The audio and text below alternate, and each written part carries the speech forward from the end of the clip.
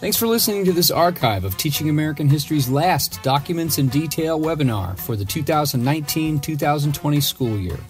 Recorded on May 13th, 2020, the focus of tonight's program was Herbert Hoover's speech on the proposed New Deal, which he delivered shortly before the 1932 election. Good evening, ladies and gentlemen. My name is John Moser. I am professor of history and chair of the Master of Arts in American History and Government program at Ashland University, sporting my coronavirus lockdown haircut. Uh, welcome to another episode of Documents in Detail, teachingamericanhistory.org's webinar series in which we bring together thoughtful scholars to have a conversation about historically important documents.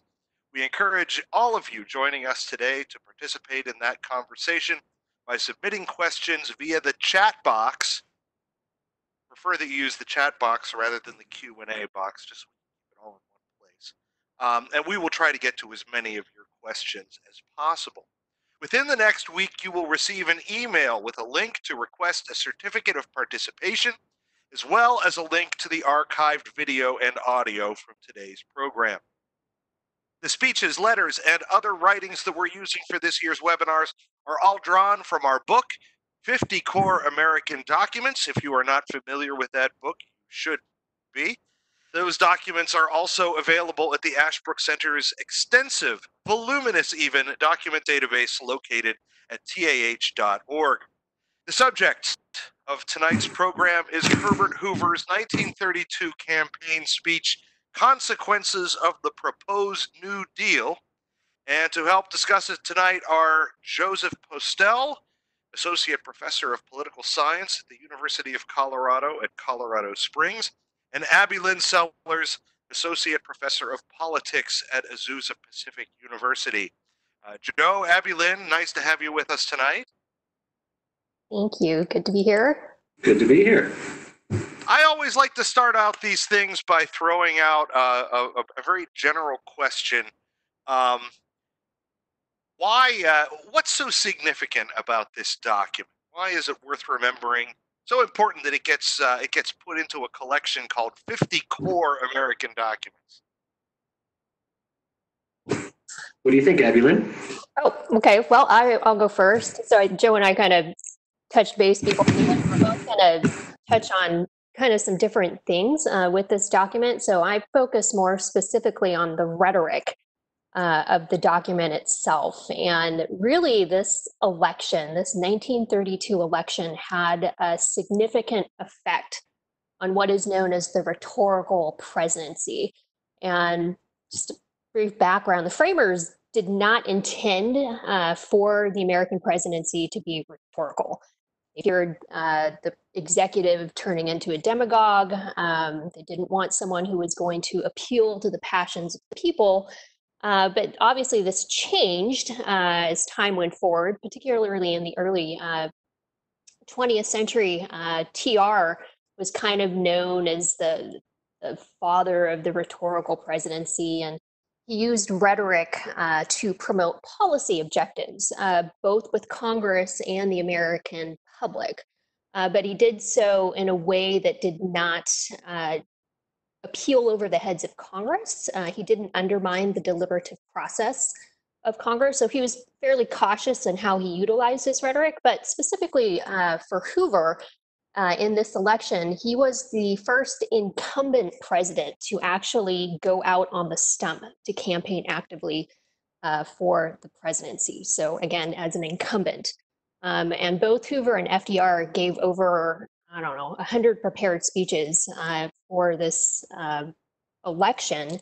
A lot of them were uh, radio addresses. Um, and because radio uh, was more uh, common in uh, people's homes. They had to kind of tweak their campaign speeches so people weren't hearing the same thing over and over.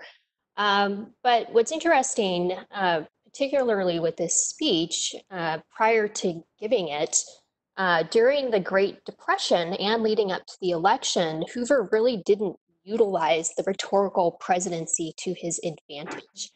Um, he really reduced his speaking schedule. Uh, he relied um, kind of more on this idea of it's called a wall of silence. but he did this by justifying it, saying he didn't want to talk about uh, economics and kind of the problems of the nation because he feared that it would induce further panic among the American public. Um, but when he did speak, uh, he had a phrase prosperity is just around the corner. Uh, this rhetoric kind of came across as being disingenuous to the American public. Um, and then also factored into this was his personality. Hoover uh, really didn't like public speaking, he was pretty shy. Um, but he had to do something at this point uh, in the game when this speech was given. It was in October 1932. Um, and he had to kind of be on the uh, defensive after all of the um, negative uh, press that he and his administration had been receiving. Um, and so uh, Hoover's press secretary, uh, Theodore Joslin, actually wrote in his diary that Hoover saw FDR as a, a demagogue uh, who was uh, seeking opportunism. And, uh, and so Hoover had to present himself as the opposite of all of those things. So I think the speech uh, really, in the rhetorical sense, um, is Hoover attempting to do those things. Very interesting. Joe. Um, yeah, so I have to admit, it's a good question to open things up because um, I have to admit that I've never read this speech before getting prepared for this discussion. I've read plenty of Hoover speeches, the rugged individualism speech, the constructive side of government speech, but this one um, I had actually never read before until about a month ago. Uh, so it's a great question. Why uh, study this speech?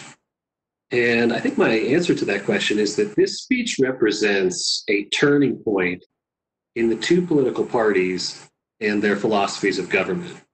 Um, Hoover presents his he presents this speech as laying out a contrast between two competing philosophies of government. He says something almost exactly along those lines. This is this election, 1932, is about two different philosophies of government. Um, and then he sort of proceeds to lay out what he sees as the differences between those two philosophies. I think it would be interesting to sort of try to figure out what he saw as the main differences and whether he was right about that. But what what I find fascinating about this speech is if you read just the speech without any of the context surrounding it, it's very interesting.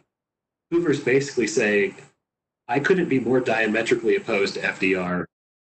And yet, if you know the historical context around this, you know that it's much more complicated. And Hoover was actually much less sort of conservative than we often think him to be. And FDR, at least in 1932, was presenting himself as pretty conservative Democrat, more in line with the Democratic Party's more conservative or limited government tradition. And so, what's interesting about this speech, I guess, is that you start to see the Republican Party going on a new path, and especially the way that Hoover uh, sort of describes Roosevelt's position in 32. You start to see the Democratic Party going on a very different path as well. And this is a this is kind of a speech at the turning point, and I think that's one important reason why it should be studied. Uh, Abbylin, a, a quick follow up to your to your comments. I, am interested uh, to the extent that this is a, this is a reflection of the rhetorical presidency or, or what Hoover was able to do with it. Anyhow, um, anyone has listened to recordings of Hoover uh, probably concludes pretty quickly that he is not a, he's not a terrific public speaker. Um, did he have a speechwriter? Uh, you know, I actually don't know the answer to that question. I assume he did. Um, he had, I know that for this particular campaign, he was trying to shove a lot of the campaigning off on a lot of his administration. He didn't want to have to do that himself. So I, I'm, I'm sure he had someone assisting him with that. Um, yeah, this is it, it, it, I never really you never really hear about Hoover speechwriters, probably because they they weren't all that good. Um, I mean, when you when you think about FDR on the other hand, who had this constellation of big names, and and I I know some historians who say that if you if the first thing you have to do in analyzing any FDR speech is figure out who the speechwriter was, because that because it, it could be it, it could have a very different emphasis depending on who the speechwriter is. So yeah, I was wondering if uh, Hoover wrote his own. Um, let's talk a little bit about the uh, about the context for this speech. It's it's a it's just a, a week or so before the election, right?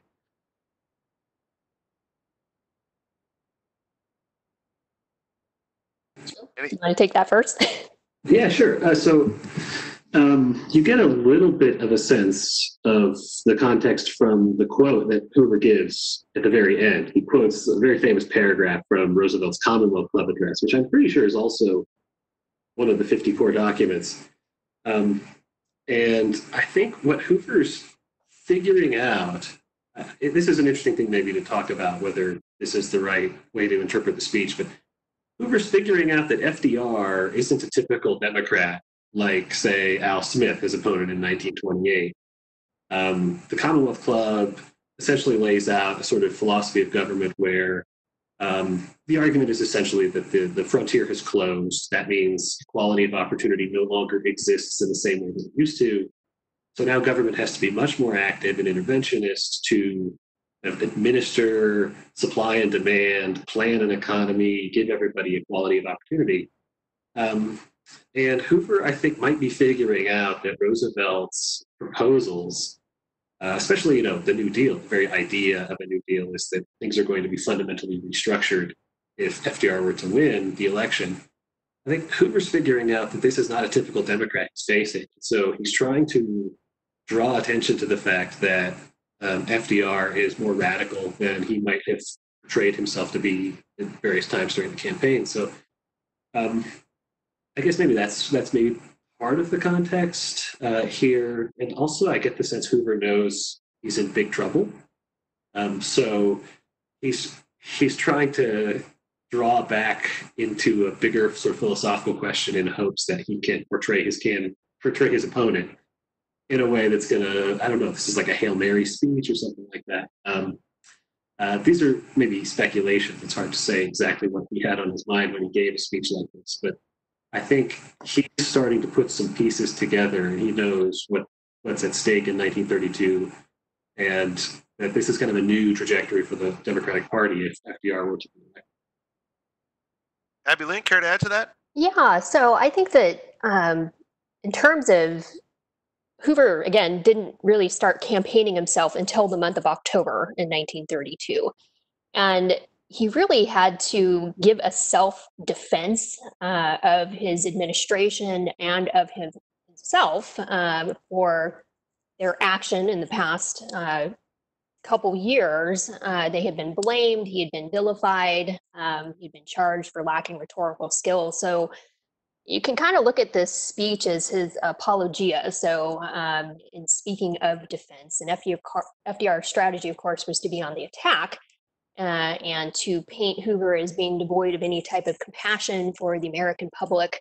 Um, and so he had to defend, beyond the defensive, uh, and defend his administration, his character, and as is seen, his view of government, which is quite prevalent uh, in this speech. And so it kind of has this ideological divide that's present.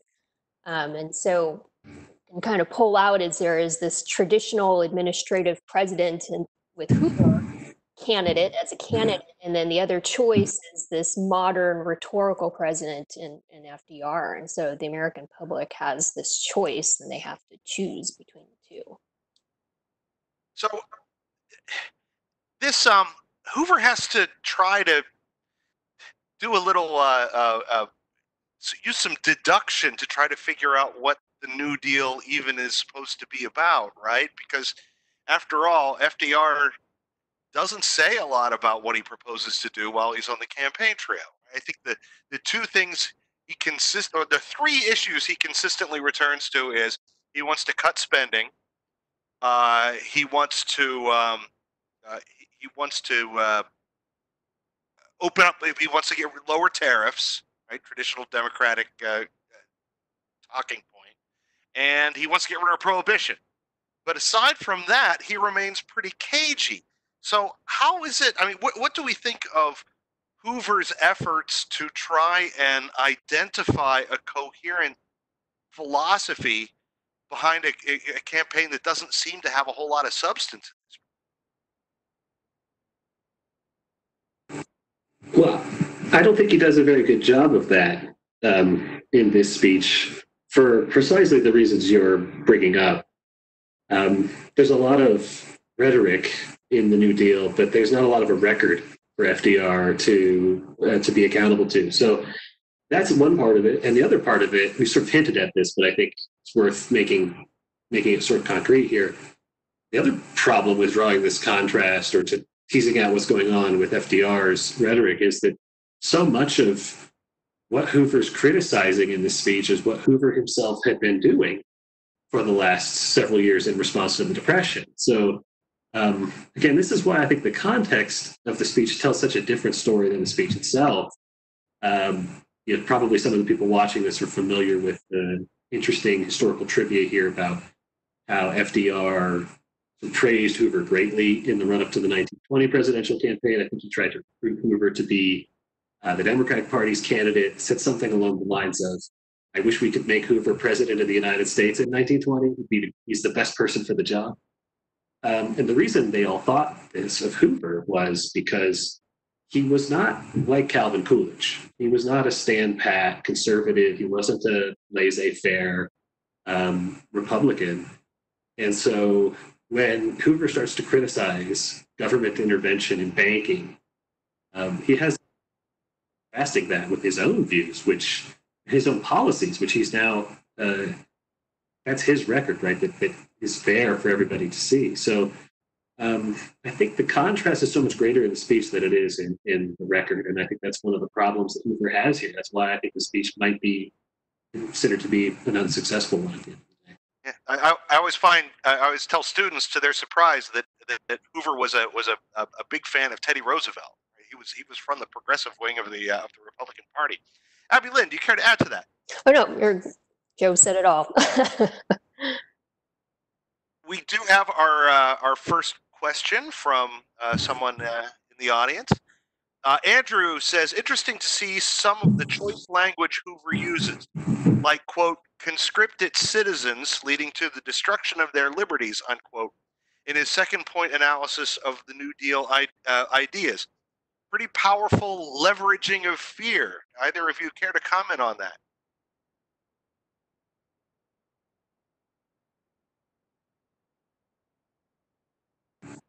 Go ahead, Abby Here. So Sorry, is uh, is is Hoover uh, is is this just a, a, naked appeal to emotion to try and uh, to try and scare the voters?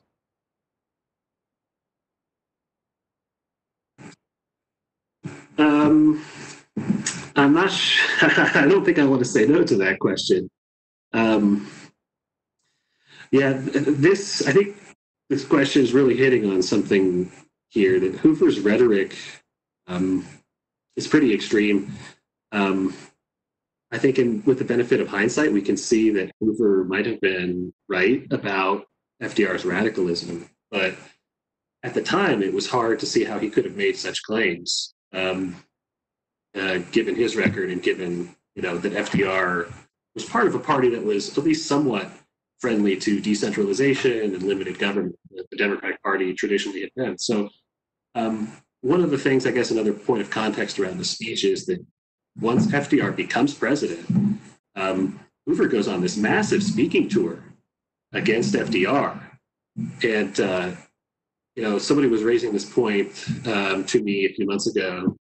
You know, have there been any presidents who've been more critical of current presidents than the former presidents have been critical of President Trump? And my first response was to say Herbert Hoover was pretty critical of his successor, um, so, in some ways, there's some foreshadowing going on in this speech that, that the rhetoric that Hoover never used up to this point is now going to be what he's going to start using from from here on out. Yeah, so I think that he wants to make there a clear distinction in terms of the difference of their philosophies of, of government. Uh, and that's definitely one of Hoover's rhetorical tools. Uh, and it was in a number of his speeches at the end here. This is the American principles aspect is really a, a, main thrust of this New York speech um, in terms of the adherence uh, to the principles of government and the appeals to the founding era. Um, he does talk about self government and individual responsibility. Um, democracy can remain the master in its own house and can preserve the fundamentals of our American system. So um, it's not surprising that he would draw in that language um, to make that that contrast. But as Joe says, um, how he would have had that kind of I don't know foresight to know for sure uh, that FDR's policies would indeed do these types of things. Um, speculation maybe on his behalf. So we have a question from Shaylin asking um, asking you to comment on the the relationship between these two men. They really didn't like each other. Right? This became a this election was kind of personal, wasn't it?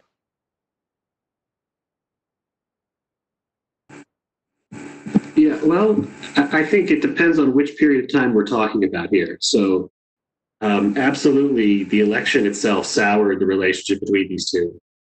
And there's a really good book that's been written recently about the transition between um, Hoover and Roosevelt. And basically, Hoover set up a lot of obstacles in FDR's way so that when he became president after the 32 election, um, he would face difficulties, he would have some obstacles to overcome, kind of a foreshadowing again of rise of partisanship, of polarization, and of um, some of the things we're seeing more recently. Um, but if you go back before the election, the relationship's completely different. It's very cordial.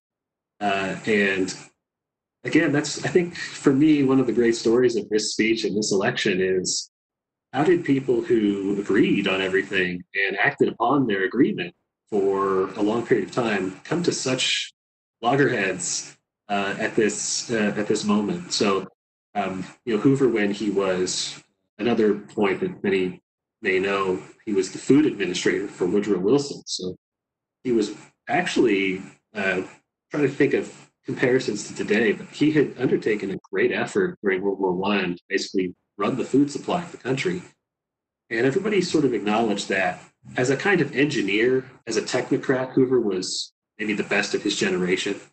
Um, FDR called him a wonder. Coolidge called him Wonder Boy, but he wasn't meaning it as a compliment. Uh, and so Hoover endeared himself to many Democrats, many progressive Democrats, including FDR. And suddenly things just go off the rails in 32 in terms of the relationship between them. It's really, it goes, it gets even worse after the election, it seems. Abbylin? Yeah, I agree with Joe, um, particularly the, the after the election in 36, uh, with Hoover really actively going after FDR publicly uh, as a past president. So I, I, actually I had read about that uh, just recently. I didn't, I wasn't as familiar with that specifically, but um, yeah, definitely soured relationship at this point. So I'd like to talk a bit about the American system I know this is a this is a trope that that that Hoover uh, touches on in some of his uh, some of his speeches back in 1928. Um, what is he talking about here? What does he mean by the American system? He, he refers to the importance of equality of opportunity. Of course, FDR in his Commonwealth Club address says, "Well, yeah, equality of opportunity is very important. Uh, unfortunately, we've lost it, and we need to get it back." When what what is Hoover talking about exactly when he mentions an American system? Yeah, so um, the phrase is most typically associated with Henry Clay, obviously, um, who was a Whig, but the way I tend to talk about these things is he was a Republican before there was a Republican Party. Uh, most of the Whigs became Republicans, and of course, most of the Whigs were old Federalists. So there's this kind of line between Hamilton Henry Clay, Lincoln, and then people like um, Herbert Hoover. Um, so the idea of an American system, I think he's trying to appeal to kind of roots of his own political party.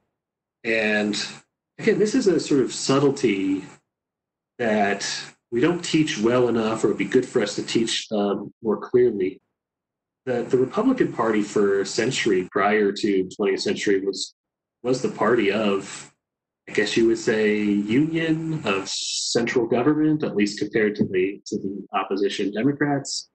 And so um, that that idea of an American system is basically the idea that the national government has some positive responsibilities. They're still limited, but they're positive. Government needs to kind of create infrastructure, needs to set the conditions for people to exercise their freedom to engage in economic activity.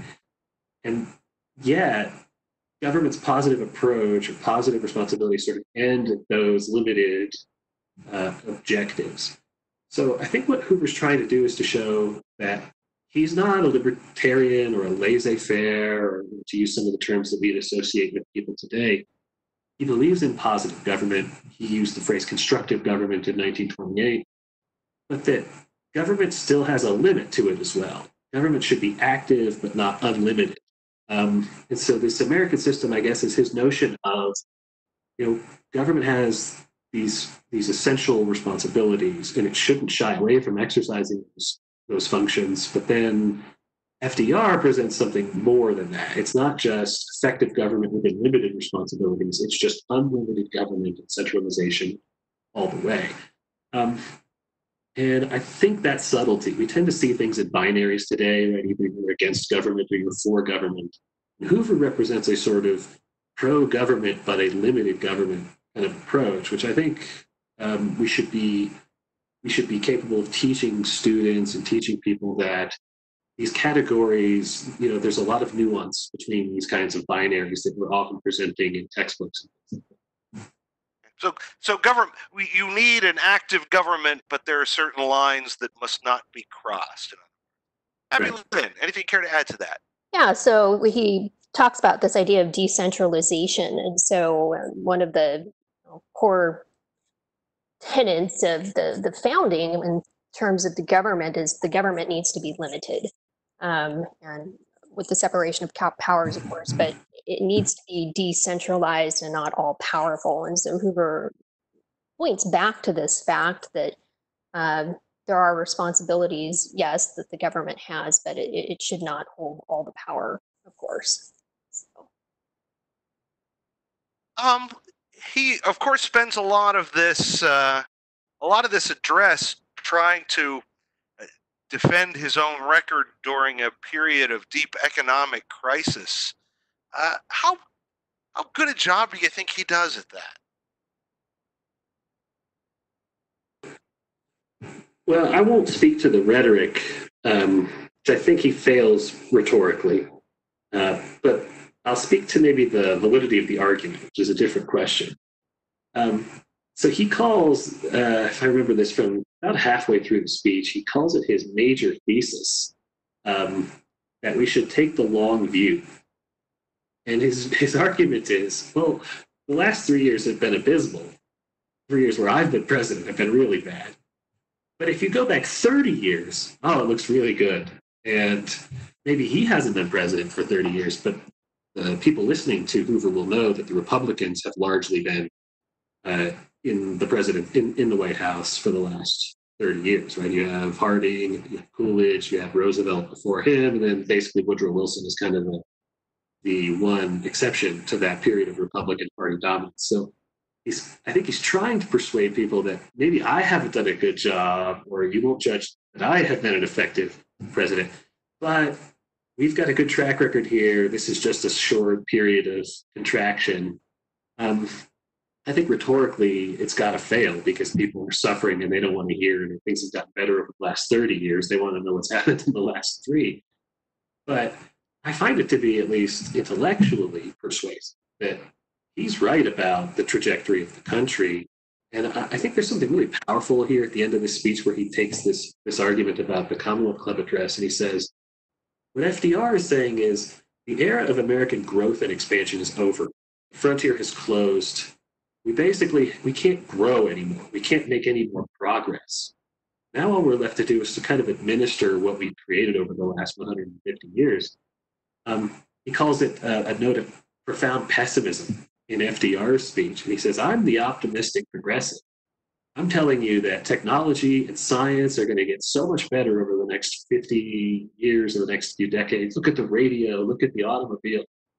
This is this is a temporary, you know, contraction, but look at what we can create. And there's a new frontier opening, and that's the frontier of science and technology. And honestly, I think he's probably got the better of the argument on that. But people listening to the speech probably were not interested in that argument. They wanted to know what government was going to do for them right now. And FDR was willing to give them something right away. Abbylin. Yeah, I agree. Uh, definitely fails rhetorically uh, in attempting to disassociate his administration uh, from the charge of basically being responsible for the Great Depression. And so he tries to place the blame on Europe uh, and the war um, and its aftermath. Um, and he also uses a number of metaphors. Um, he, he includes these natural disasters. So he equates uh, he says, further blow by the shocks transmitted to us from earthquakes of the collapse of nations throughout the world. And he also talks about a storm uh, that we may thank God, in view of the storm that we've met, 30 million still have jobs, but you know, a certain number don't. And so, uh, I mean, his intention of doing that probably was that human beings don't have any control over uh, whether or not a natural disaster takes place or not. So he, he's trying to deflect uh, his administration for being responsible and uh, using this kind of language, but I don't think that he's very successful uh, in doing so. Where do you think Hoover, and maybe this takes us away a, a little bit from the speech itself, where do you think Hoover went wrong? I mean, it, it's not as though uh, it's not as though there hadn't been panics and stock, you know, big plummets of the stock market in the past. Clearly, by 1932, it was clear that this was not like uh, the Panic of 1907 or or something that's often forgotten the the the, the recession or, or depression even of 1921, which in fact Hoover was Secretary of Commerce at the time. Hoover was ready to jump into action. He was ready to hold a bunch of meetings and, and then it improved before he could even get into it. What's different, and where did Hoover go wrong as as as president? I think he went wrong by not appealing to the public. So by choosing to, from a rhetorical sense, by choosing to pull back in a time of crisis, uh, people want to know that their leader uh, is in charge and in control and uh, and has compassion toward their plight. And he did not demonstrate that uh, at all. He came across as cold and uncaring and completely disassociated. And that did not go over well with the American public in a time of crisis. Joe. Uh, yeah, so this is a question that is uh, filled with landmines, and it's going to get into, I guess, maybe some sort of uh, contemporary partisan kind of debates. Um, I think probably, I, I, really don't know the answer of what Hoover did wrong. And I think, speaking from a sort of policy point of view, that he basically presided over a really awful depression and he didn't do anything to reverse it. Um, some people, you know, this gets back to the question of what caused the Great Depression and therefore what should have been done to to address it. Um, many people will talk about, say, like Smoot-Hawley tariff or restrictions on uh, trade, the protective tariff, as being a really bad idea that Hoover uh, shouldn't have supported. This was a traditional Republican Party view that we should promote domestic manufacturing by um, keeping trade or keeping manufacturing here through the tariff. Um, the international, I mean, Hoover himself says it's the international crisis, really. What's going on around the world is what's caused our problems. So um, we have to deal with it that way. Uh, some people will argue that Hoover's activism, basically, that Hoover himself was taking on many of the things that FDR would eventually do, that that extended the Great Depression, and that therefore FDR also extended the Great Depression by some of the measures that he took. Um, I don't necessarily think I'm qualified to answer that question definitively, but um, I I think Hoover's failure, in some sense, um, is a bit of a revisionist history. I, I, mean, it's hard to defend Herbert Hoover. It's hard to say he wasn't a failed president. It's, it's one of the things that historians almost entirely agree upon is that he was. But you know, Hoover did what FDR eventually would do, at least in many respects. Um, all of the interventions, farm subsidies, increasing government expenditures, creating things like the Reconstruction Finance Corporation. These were basically core ideas of the New Deal. And um, the great line from one of FDR's brains trusts, he says, you know, we got here and we found that the New Deal had essentially already been underway thanks to Herbert Hoover. He had been doing it. Um, and so there's, I guess, a bit of a tragedy here that we tend to praise FDR for what he did in response to the Great Depression, and yet Hoover did many of the same things before FDR did, and yet we call him a failed president. Um, you know, they say, right, that the winners write the histories. And in this case, they wrote it to Hoover's detriment. So, um, so there are many ways of thinking about Hoover as a failed president. I guess in a way, I want to try to at least say he wasn't failed president in the way we ordinarily think he was. To to to Abbylin's point, this rhetorical element would seem to be to be pretty important. Um, on the one hand, Hoover seemed like the kind of guy that you wanted to have in the White House when a crisis hit. After all, he had handled, as as Joe pointed out, that uh, he had headed up the U.S. Food Administration and, and, and really oversaw an extremely effective relief effort to Europe. Uh, in 1927, when there was a devastating, there was devastating flooding on the Mississippi River, uh, he was in charge of the relief efforts there, and again did a really great job. Um, and they called him the great engineer because he was the guy who would figure out what to do and then solve the problems. But those of us who know engineers, right, know that they have a really hard time communicating in a way that conveys empathy. And in that vein, uh, we have a, a question from Danita Courtney. Is this document an effective tool to use in teaching the rhetoric of today's government reaction to the pandemic and the polarization of the American people. What do you think? I say, oh, go ahead. Go ahead. Uh, yes, um, absolutely. Um, we're in a in a presidential election year, so uh, everything that's going to be said is going to be scrutinized, and and we have more um, media at our disposal uh, now. And so we have a tendency, I would say, for your students, that you can challenge them, uh, particularly with this speech, um, and, and, asking them how the failure of Hoover's unrhetorical presidency helped to bolster FDR's uh, rhetorical presidency. So, would FDR have been as successful uh, if Hoover would have been able to convey these things rhetorically. Um, but it definitely is a, a, good link to today in terms of what information is conveyed to the public. Now, of course, there's you got to sift through all of the the media and how things are are presented, um, which you know, working with your students to identify, um, you know, what's true and what's spin. Um, but I would say absolutely that you could make the the linkage of, of the importance of the rhetor- the rhetorical presidency in a time of crisis uh, and how information is conveyed, and particularly in a campaign season, um, how it's going to be utilized. Um, uh, the crisis will be utilized, and what will what the focus will be in order to um, either justify uh, or defend a particular administration, the incumbent, or what the challenger is going to do differently. Obviously, the challenger is going to point out the, the failures of the current mm-hmm. administration, um, but the, the rhetoric it, it's really important, um, and it's. I think that it makes us as citizens. Um, it should make us less lazy. Um, we should be paying attention to actually what's being said, and that's something that you can challenge your students with. Joe.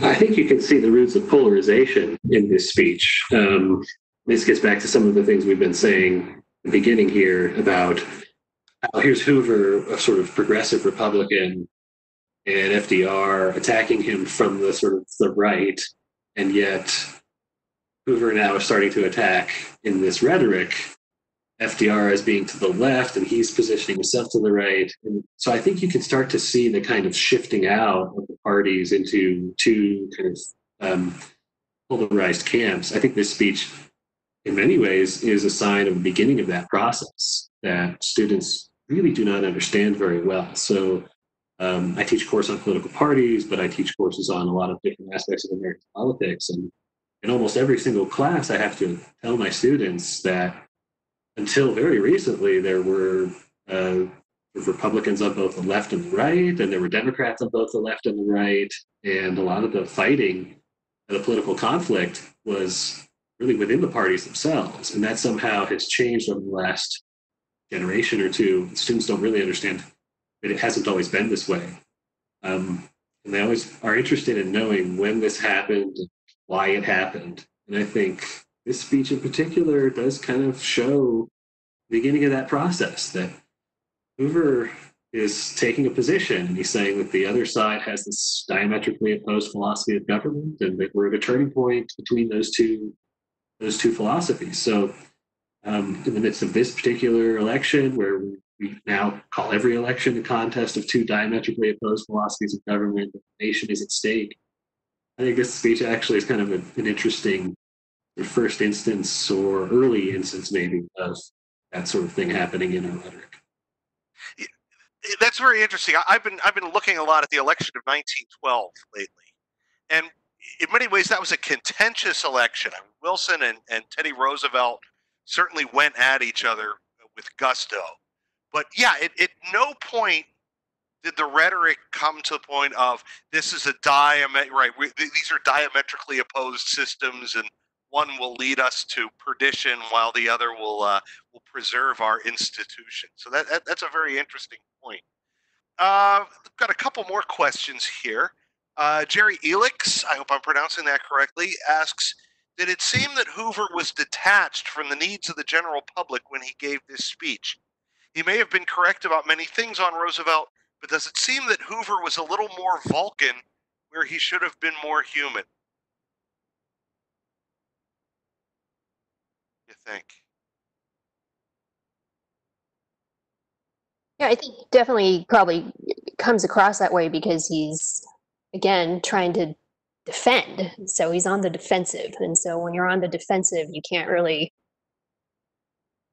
demonstrate that humanity, I guess, if you want to call it that, um, because you've got to be able to. Uh, it, it's just it's just a different approach to a, a speech, and so I, I when I read this, I I find it is it's just defense um, of his administration of American principles, and so it it doesn't come across as it was his problem throughout this whole campaign as as you point out as being human and relatable. So whereas and Hoover wasn't charismatic.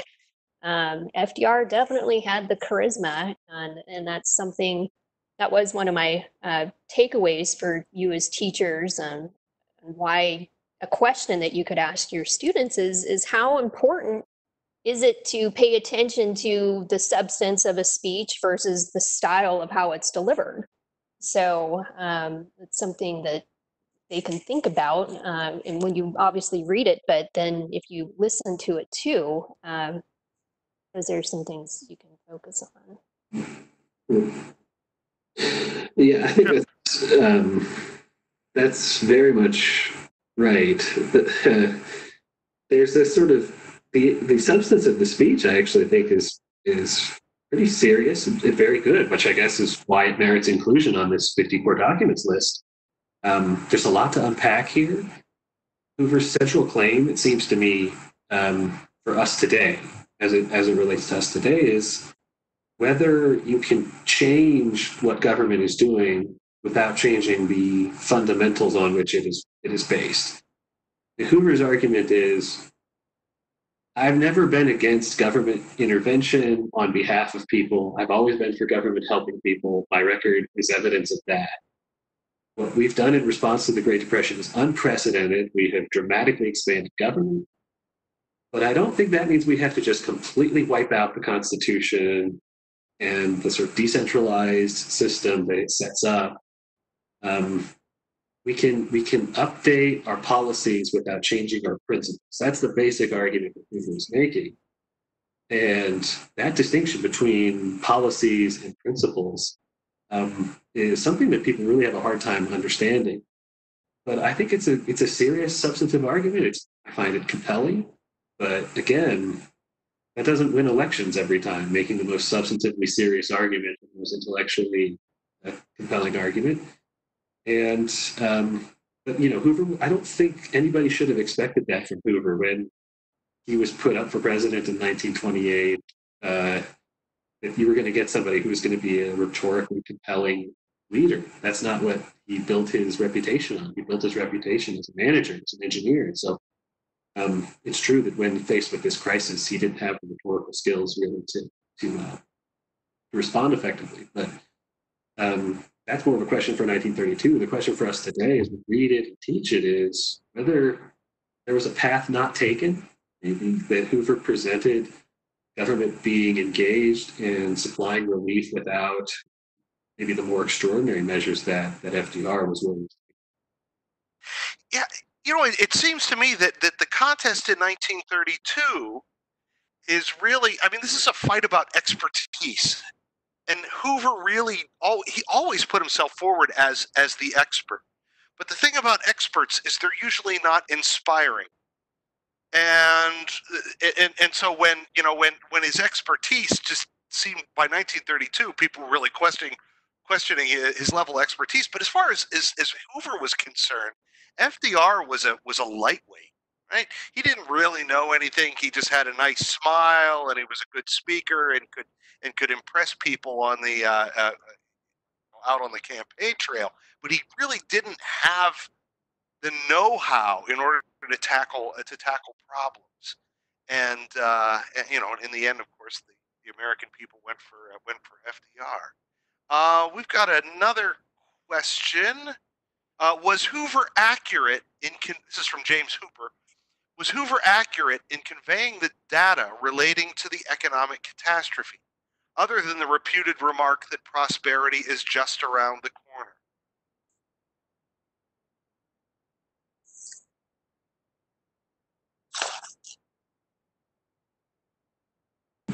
Joe? I'm, I'm trying to find actually sort of what the claims are exactly here in the speech. Um, it's just the delay here in the response. Uh, so the question is, was the the data that Hoover gave in the speech accurate? Was he accurate about the economic situation in the country? Um, uh, is that the question? That is that's my understanding of it. Yeah. Um, you know, I'm not entirely sure. I can't answer that necessarily definitively. But I think largely he is right that both about the sort of long term progress that the nation has experienced. Certainly, I think he's right about that. Um, and about kind of the, the, you know, the unemployment statistics, but also, right, he mentions 15 million new and better homes, um, the expansion of electricity, uh, telephones, radios, automobiles, and things like that. I think he's largely right about those things. So, um, again, this is maybe a counter argument to the, what we've been saying for the last five minutes or so, which is uh, he's a terrible rhetorician. Uh, a paragraph about in the middle of the, the speech where he basically just lays out a ton of facts about how much life has gotten better for people over the course of the last um, few decades. So you know, he's actually telling people this is how your life has gotten better. This is how we've improved the lives of people. Um, but that's, you know, again, it's over 30 years, not over the last three. I mean, maybe that is just at the end of the day, Hoover was just overcome by circumstances. It wasn't that his rhetoric was lacking or he, he just wasn't up to the challenge of speaking the way FDR did. I mean, this was just an extraordinary situation that swept away somebody who was now misunderstood because of that, that situation. Abby. Abbylin, sorry. Oh no, that's okay. So yeah, I mean, I agree with Joe. Um, I mean, I don't have hundred percent knowing how if he was hundred percent accurate in stating his facts, but a lot of times the American public has a very short attention span, and rattling off a bunch of statistics is not something that's going to inspire, as you mentioned before, or interest them. Uh, what what is it doing for them now? And so that that's not Hoover doesn't really, even though he presents the information uh, as factual as it may be in here, it's there's a disconnect between being able to deliver it to the people directly.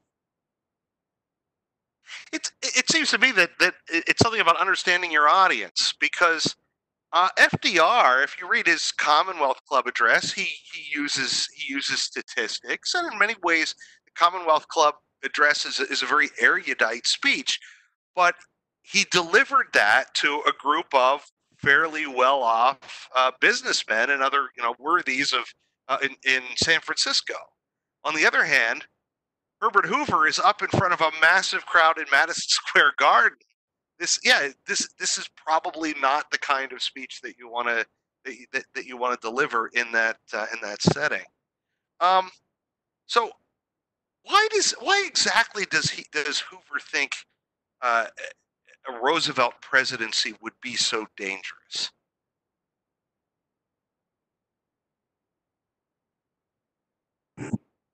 Yeah, so um, he says at the beginning of the speech, right, that this is basically an attempt to alter the whole foundations of our national life. it's hardly uh, moderate, right? Uh, this is you know, we're going to alter the whole foundations of our national life.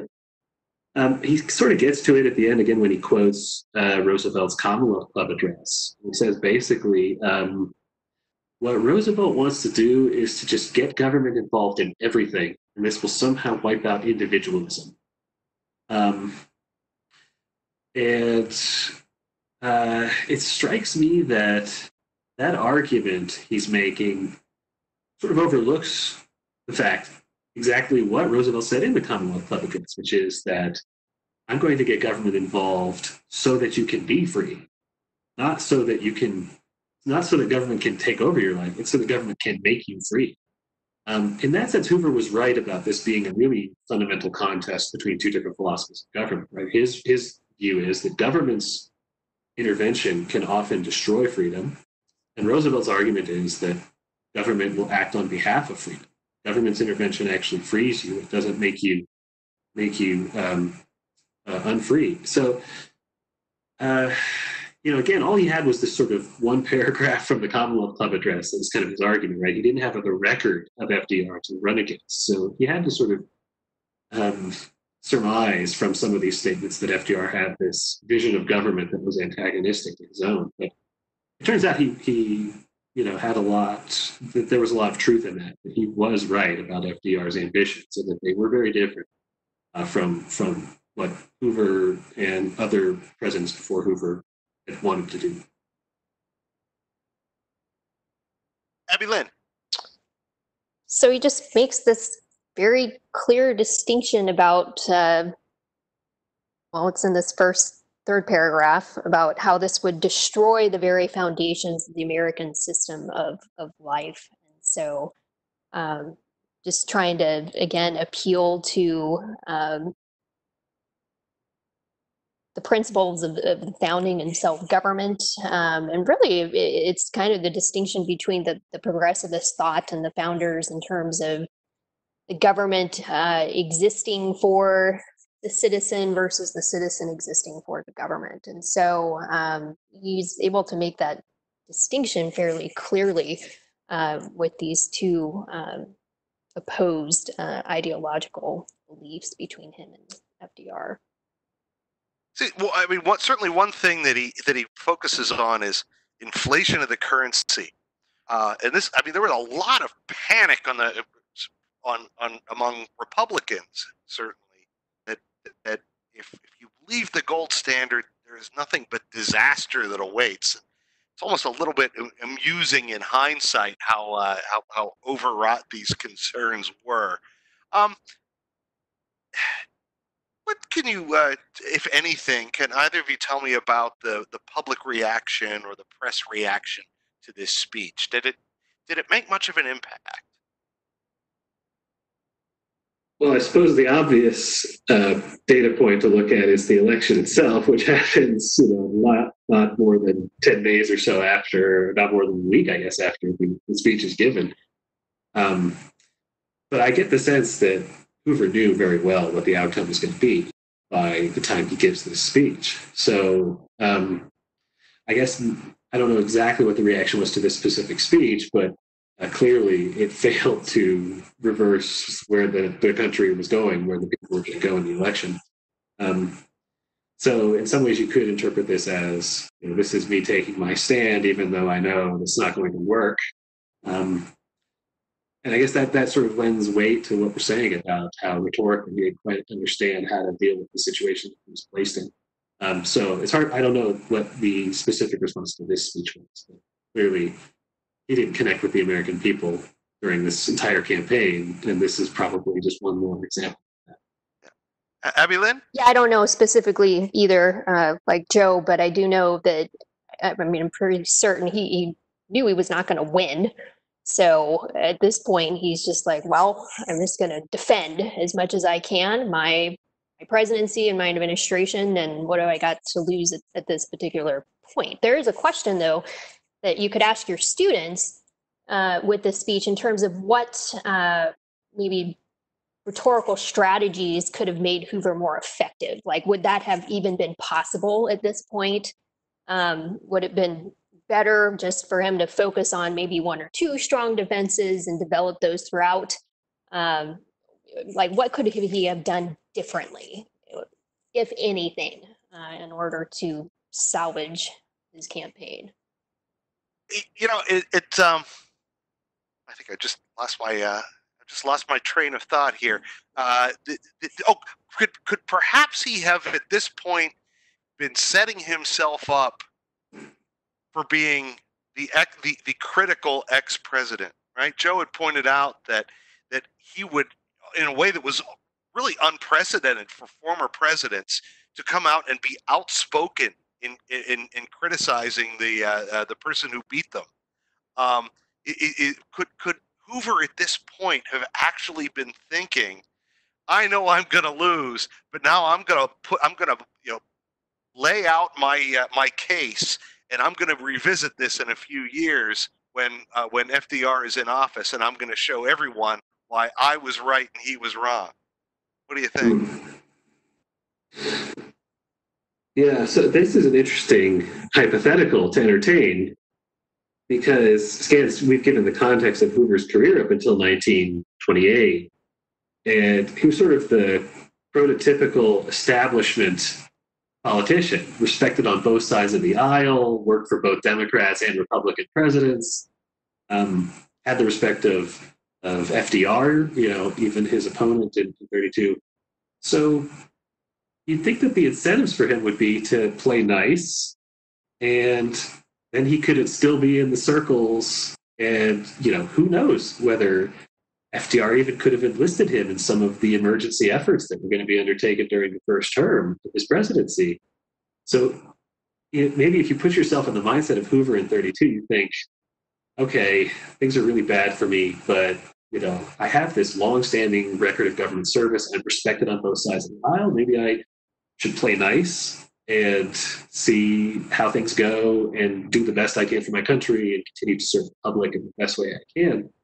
But he doesn't do that clearly. If you read the speech, he he goes on the offensive. I mean, he's defensive, but he's going on the offensive in the sense of he's, he's attacking people that he had a good relationship with before.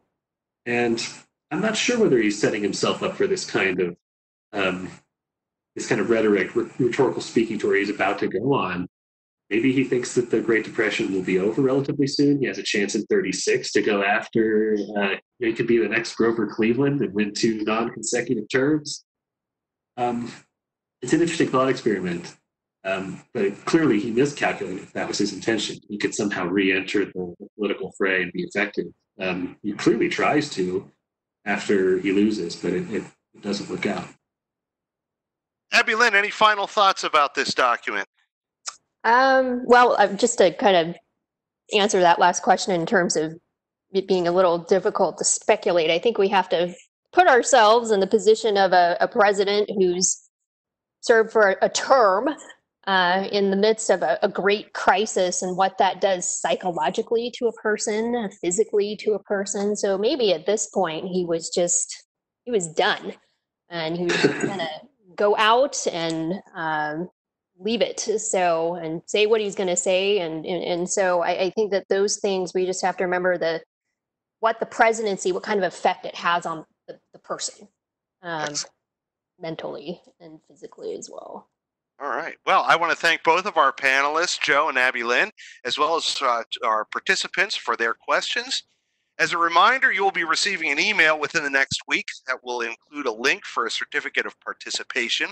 That email will also contain a link to the archived webinar, and we hope that you will share that with your colleagues and share it on social media as well. Please help us get the word out.